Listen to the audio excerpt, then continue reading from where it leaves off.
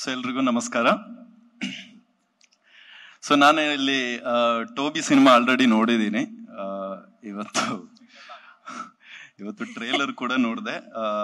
ಇದರಲ್ಲಿ second version trailer release ಆಗಿರೋದು.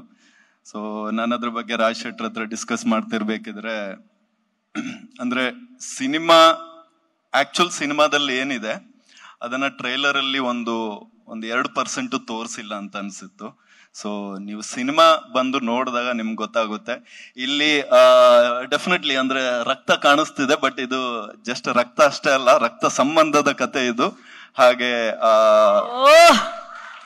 August ಇಪ್ಪತ್ತೈದು ತುಂಬಾ ಒಳ್ಳೆ ದಿನ. ವರಮಹಾಲಕ್ಷ್ಮಿ ಹಬ್ಬ ಅದು ಬಿಟ್ಟು ಬೇರೆ ಏನಿಲ್ಲ.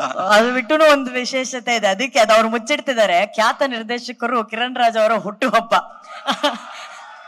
ಅವತ್ತು ಅವರ ಬರ್ತ್ಡೇ ಅಂಡ್ ಟೋಬಿ ಬರ್ತ್ಡೇ ಹೌದು. ನೀವು ಪ್ರಿಪೇರ್ ಆಗಿದ್ರಲ್ಲ ಇದು ನಾನು ಹೇಳಿ ಹೇಳಿಸ್ಬೇಕಂತ.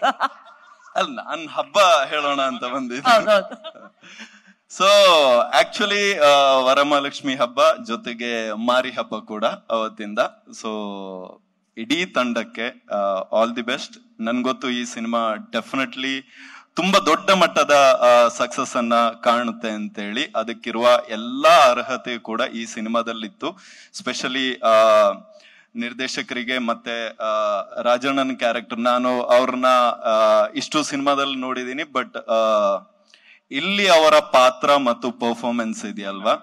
ಅದು ಲೈಕ್ ಬೇರೆ ಯಾರಿಂದನೂ ಆ ಪಾತ್ರವನ್ನ ಮಾಡಕ್ಕೂ ಆಗಲ್ಲ. ಅಂಡ್ ನೀವು ರಾಜ್ ಬಿ ಶೆಟ್ಟಿಯನ್ನ ಏನು ಒಂದು ನಟ, ರಾಕ್ಷಸ ಅಂತೆಲ್ಲ ಹೇಳ್ತಿದ್ರಿ. ಸೊ ಅದನ್ನ ಇನ್ನು ಒಂದು ಹತ್ತು ಇಪ್ಪತ್ತು ವರ್ಷಕ್ಕೆ ಅದು ಬಿರುದು ಹಂಗೆ ಕಂಟಿನ್ಯೂ ಆಗುತ್ತೆ.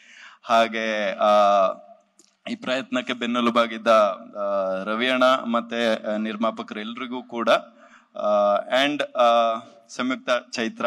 ಸೊ ಎಲ್ಲ ಪ್ರವೀಣ್ ಅವರು ಸೊ ಮಿಥುನ್ ಎಲ್ರಿಗೂ ಕೂಡ ಆಲ್ ದಿ ಬೆಸ್ಟ್ ಸಿನಿಮಾ ದೊಡ್ಡ ಮಟ್ಟದ ಸಕ್ಸಸ್ ಅನ್ನು ಕಾಣ್ಲಿ ಅಂತ ಬಯಸ್ತೀನಿ. Thank you so much news first ನಿಮ್ಮೊಂದಿಗೆ.